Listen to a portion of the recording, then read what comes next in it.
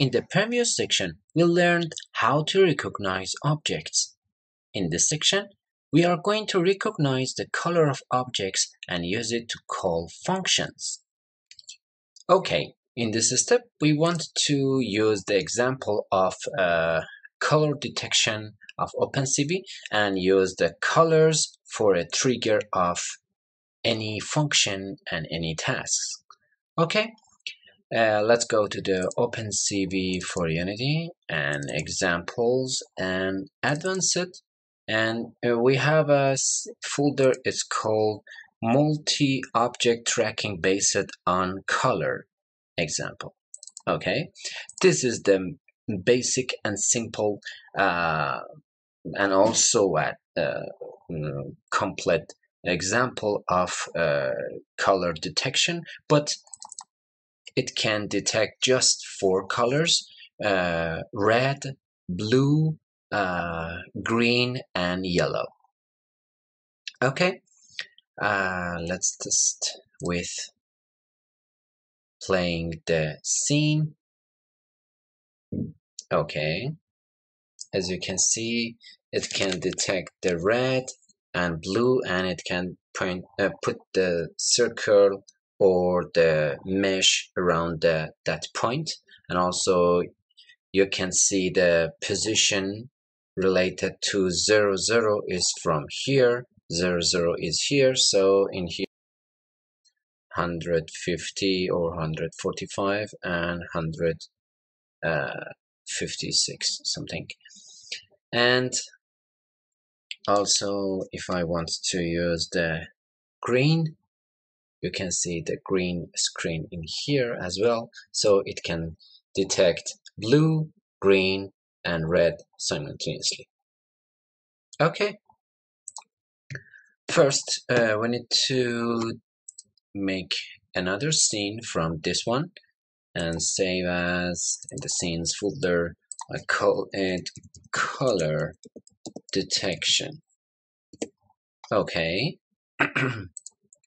sorry uh, now I need to click on event system and, and click on replace with input system UI input module to fix that uh, error compiler problem so, uh, exactly like the object detection we have mentioned in the previous clip, we need to monitor the final result of the detection. So, uh, as you can see, the system of the quad of this monitor is the same with uh, webcam texture and also FPS monitor, but the component of the uh, color detection is different. It's called multi-object tracking based on color. So we can monitor the final result here.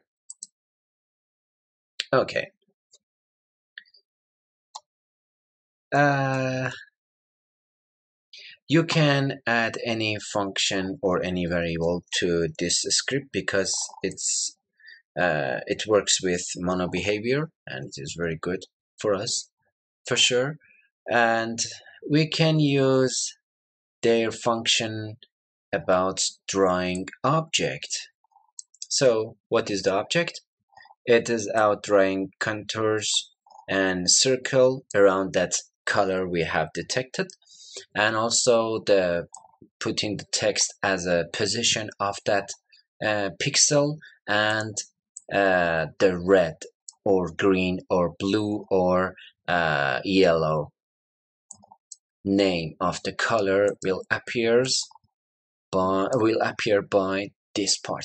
So uh, I can say the final result we are looking for is this one the, uh, the color objects uh, I get type this one get type. So if you want to have a color targets, we can define here public, uh, we need to say string, uh, color target, okay. And the same method like uh, object detection, we can add public, uh, in before this using unity engine dot events. Now we can define unity event. For example color uh, target detected order.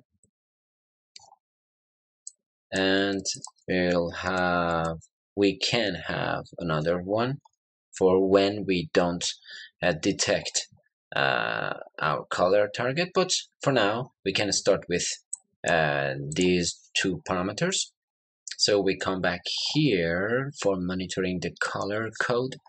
So in here we can add another line to this script and I will say if the object the object color the color objects uh, crucial i uh, get type we can say dot to string.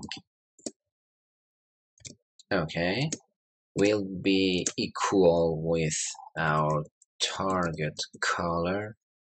Or oh, sorry. Color target. That's it. Okay. So try to uh, detect it now target detected order. Dot invoke. And that's it now let's come back to the unity editor and we will see a new variables coming here. That's it. Color target we will say for example when we detect color green in the rest of the our screen the whole screen. And uh, what will happen when we detect something? Uh, exactly like in the previous uh, clip I want to add a cube and increase the size. For example like this. But something like this? Okay but this time put it this way. Uh, 50 or 50 something. And uh, I will add uh, that uh, object detection test. Yeah this one. Okay. I made a uh, in the previous clip I made a simple script for um, such examples uh, functions. For example change transition of the cube or reset the transform change the rotation to 0 0 0 so you can call any functions you want so uh, it's just an example. You can define any function. For example, when we detect the color green, uh, we will uh, ro uh, now rotate our UGV to right. Or when we detect color red, uh, try to uh, recognize the face i don't know or i don't know send uh, a message to the monitoring system or anything you want whatever you want. So in the quad and the monitor system uh, i will add this cube to here and call the function object detection test for change the transform as far as you know we can define any other functions and they will work together simultaneously. So there is no limitations for uh, count of functions. Okay, so the method is here. When we detect the color green, uh, the object rotation will be uh, exactly 0, 27, 34. Okay. Let's bring my phone for color green. Okay, there is no color green yet. And when we have, it works. Bravo. Okay. Now we can make it more complicated when we add another function for uh, here public and uh, don't not sorry don't target uh, detected. For example in here when it is not equal our target color dot invoke. Okay. When the color we have detecting right now the all colors in the screen are not equal with our color target.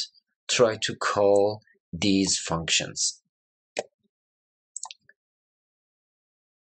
So you can define any functions you want. For example, your UGV has an option for going forward. When you detect the color red, the UGV will stop. But when the UGV doesn't uh, detect the color red, okay, let's continue into forward. So it is the uh, basic functionality for the object uh, color detection.